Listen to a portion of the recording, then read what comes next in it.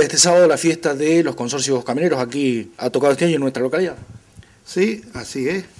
Este, en una reunión que tuvimos en Nicolás Brosone, como tenemos que llevar una representante a la fiesta de los consorcistas, que este año se hace el 24 de agosto, y tenemos que presentar una reina y, vulgarmente, vamos a decir, la elegíamos a dedo. Y bueno, dijimos, ¿cómo si los otros, las otras regionales hacen fiesta, para ver cómo no vamos a poder, poder hacerla nosotros. Y bueno, hicieron la más fácil todo, decir, bueno, ustedes como son cabeceras, háganla ustedes, después el año que viene veremos. Así que en este caso cada uno de los consorcios de la regional va a traer una representante.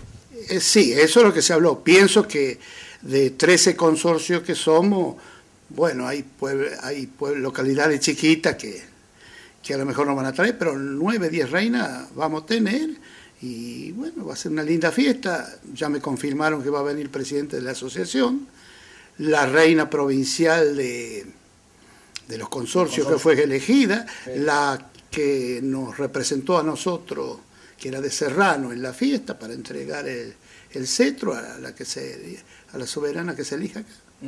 Bueno, ¿y la elección la hará algún representante de cada uno de los consorcios?